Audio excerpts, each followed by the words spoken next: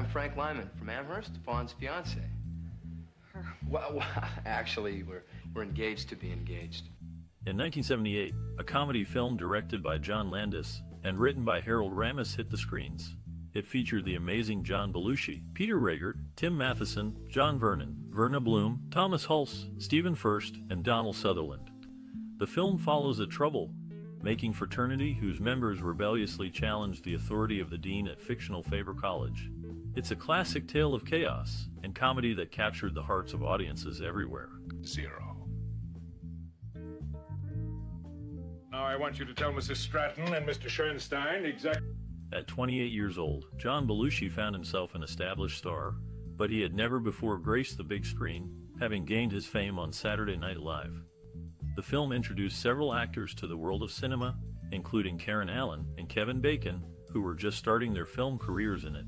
Belushi's comedic genius shone through in his portrayal, making a lasting impact on the movie landscape. The fresh faces of Allen and Bacon brought a new energy to the film, setting them on a path to successful careers in the industry. The chemistry between the cast members, combined with Belushi's magnetic presence, created a film that would go on to become a cult classic and a touchstone for future comedies. Their performances in the movie paved the way for their further success in Hollywood, solidifying their places in the entertainment world.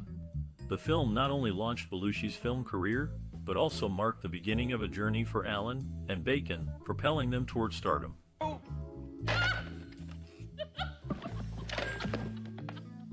The film's producers chose Eugene, Oregon, for the setting after being turned down by the University of Missouri. The University of Oregon agreed to filming for 20000 as long as the university wasn't identified in the film. You'll report to the stable tonight and every night at 1900 hours. And without that... With 150 men and 50 women chosen as extras, earning 230 an hour and receiving haircuts from a local barber shop, filming commenced on October 24 at the Sigma Nu house. The Dexter Lake Club was utilized for the road trip scene. Alta, I used to know. Where's the spirit? Where's the gut? John Belushi's enthusiasm for urban blues, contributing to the Blues Brothers, was sparked by Portland musician Curtis Salgado. Universal Pictures president objected to the Dexter Lake Club scene, fearing race riots, but Richard Pryor's endorsement kept it in. Hi, Katie. In the film, John Belushi's famous cafeteria scene was completely improvised, including the I'm a Zit gag with genuine cast reactions. Donald Sutherland mistakenly took a 75,000 flat fee instead of a percentage of the gross, losing out on $3-4 million. This moment was a testament to Belushi's comedic genius and Sutherland's financial oversight. The scene remains a memorable highlight of the movie, showcasing the talent and spontaneity of the actors involved. The unplanned nature of the scene added an element of surprise and authenticity that resonated with audiences, contributing to the film's enduring popularity.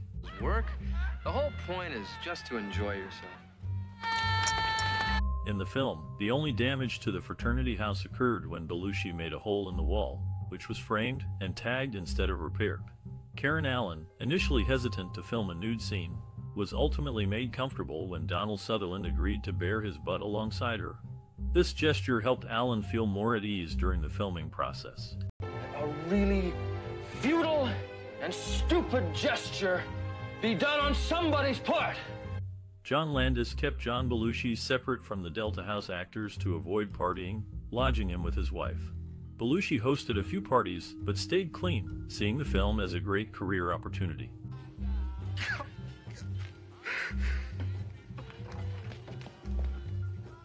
In the film, the scene where Belushi teaches dirty lyrics to Louie Louie is based on a real FBI investigation from 1963-1965. Additionally, a deleted scene involved a parade bust of John F. Kennedy, cut for being too offensive.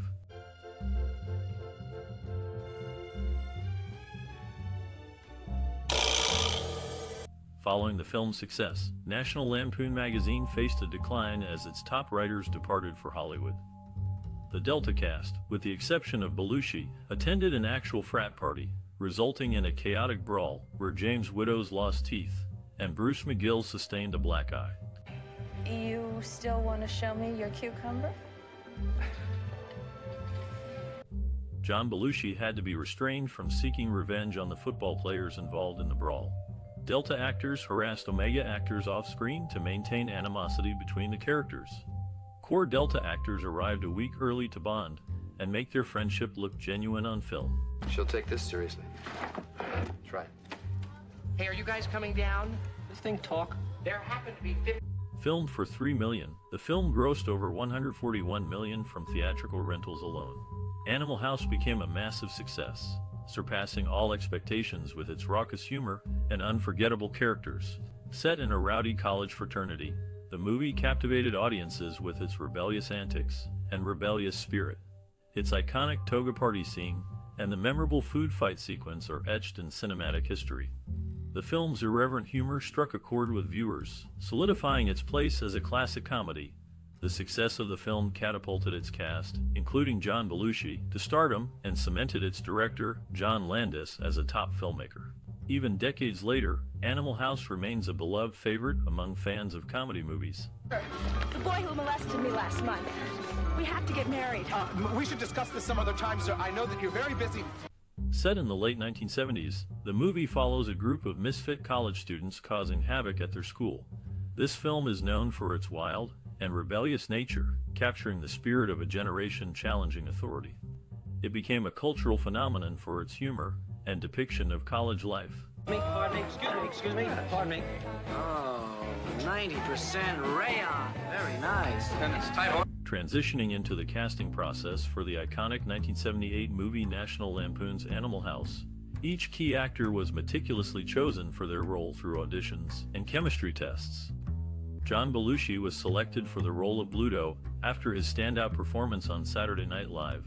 Tim Matheson and Peter Riegert secured their roles as Otter and Boone through their exceptional chemistry during auditions. Tom Hulce, who played Pinto, impressed the casting directors with his natural comedic timing. Pivotal moments in the casting included the interactions between the actors during chemistry tests, where the dynamic and humor of the ensemble truly shone. The casting process for Animal House set the stage for a legendary movie that continues to captivate audiences to this day. Don't know much about the French I took, but I do know that I. The directorial vision behind the 1978 movie National Lampoon's Animal House was focused on creating a raucous and irreverent comedy that pushed boundaries. Director John Landis brought the story to life with a blend of satire, slapstick humor, and social commentary. Landis drew creative influence from classic comedies and his own experiences in college, infusing the film with a sense of nostalgia and authenticity. His directing style was energetic and improvisational, allowing the cast to bring their characters to life in a natural way. Landis collaborated closely with the cast and crew, fostering a collaborative and supportive environment on set that encouraged experimentation and creativity. Through his vision and direction, National Lampoon's Animal House became a classic comedy that continues to entertain audiences to this day. I'm Larry. Remember me? I took you to the party? The production of the 1978 movie National Lampoon's Animal House involved intricate set design to recreate the college campus atmosphere. Locations were carefully chosen to depict the 1962 setting authentically, with the University of Oregon serving as the primary filming location. Logistical challenges included coordinating large crowd scenes and managing the chaos of the fraternity parties depicted in the film. Innovative techniques such as using hidden cameras to capture spontaneous reactions from extras were employed. Additionally, the filmmakers utilized creative lighting setups to enhance the comedic tone of the movie. The team also embraced improvisation, allowing the actors to ad lib certain scenes to add to the overall humor and authenticity of the film. The production team faced hurdles in ensuring the film's raucous energy translated well on screen while managing the complexities of shooting on location. Despite these challenges, the movie's success showcased the effectiveness of blending traditional filmmaking techniques with innovative approaches to create a cult classic.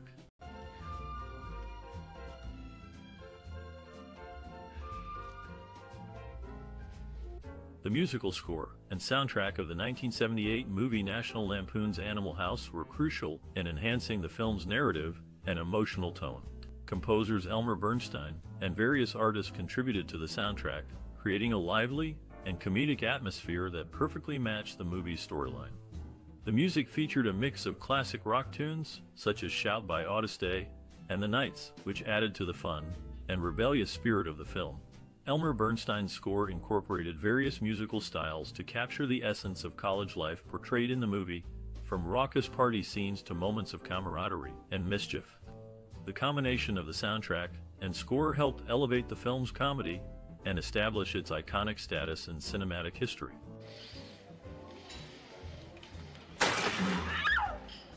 I'm a zit. Get it? One iconic scene from the 1978 movie National Lampoon's Animal House is the Toga Party. This scene showcases the chaotic, party-loving spirit of the Delta Tau Chi fraternity. The direction captures the fun and rowdy atmosphere as the actors deliver energetic performances. The cinematography highlights the colorful costumes and lively dance sequences, immersing the audience in the festive mood. According to filmmakers, this scene symbolizes rebellion and freedom, resonating with viewers who enjoy a carefree, rebellious narrative. Actors recall the camaraderie and sense of fun they experienced while filming, which translated into the dynamic on-screen chemistry. The impact on the audience is one of pure entertainment and nostalgia, leaving a lasting impression of wild college antics and youthful exuberance. To you, bad mouth the United States of America. Gentlemen! The 1978 movie National Lampoon's Animal House resonated with audiences by portraying college life in a humorous and exaggerated way, making it relatable to many viewers. The film influenced pop culture by popularizing the comedy genre and showcasing a rebellious and carefree attitude that appealed to young audiences. It contributed to discussions on relevant social themes by highlighting the clashes between traditional values and countercultural movements of the time, sparking conversations about authority, conformity, and individual freedom. Animal House's impact on culture and society continues to be felt through its lasting legacy in comedy films and its reflection of the social dynamics of the late 1970s. I don't know. Something's wrong. Women. Can't live with them, can't live without them. National Lampoon's Animal House, released in 1978, garnered mixed critical reviews, with some praising its humor and satire while others critiqued its raunchiness. Audiences, however, loved the film, finding its irreverent comedy and outrageous characters highly entertaining. Despite the divisive reviews, the movie became a box office success and a cult classic, resonating with viewers for its rebellious spirit and comic genius. The film received several accolades, including a BAFTA nomination for Best Original Screenplay. Its impact on popular culture is undeniable, inspiring a genre of college comedies and launching the careers of many actors and filmmakers involved. The recognition the film received validated the risk taken in creating such a bold and unconventional comedy, cementing its place in cinematic history and ensuring its enduring legacy for generations to come. He would pledge a man like you. During the filming of National Lampoon's Animal House, John Belushi was known for his improvisational skills, often surprising cast and crew with his unpredictable antics on set. Despite his wild behavior, many considered him a lovable troublemaker, bringing a genuine energy to his performance as Bluto. The food fight scene was one of the most memorable moments to shoot, with real food being used and the chaos escalating beyond what was initially planned.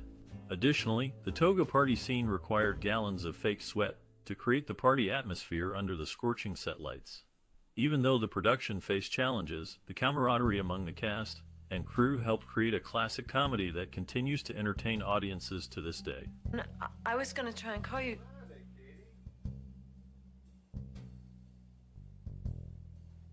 The 1978 movie National Lampoon's Animal House holds a significant place in film history.